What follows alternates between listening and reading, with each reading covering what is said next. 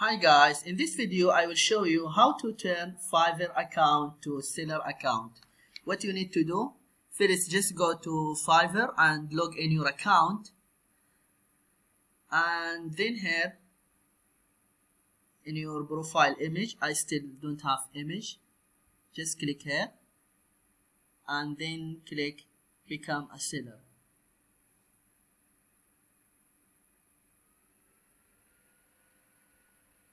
And then just click here become a seller.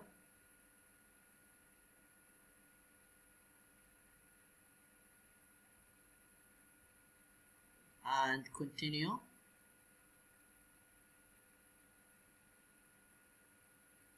Continue.